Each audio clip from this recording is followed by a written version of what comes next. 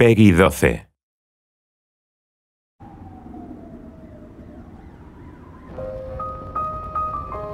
Yeah, we don't want nobody telling us what to do. We don't want nobody pushing us around.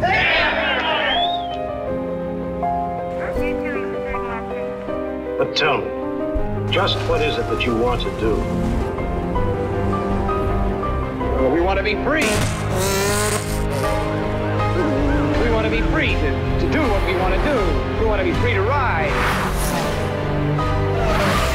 We want to be free to ride our machines without being hassled by the man. We want to have a good time.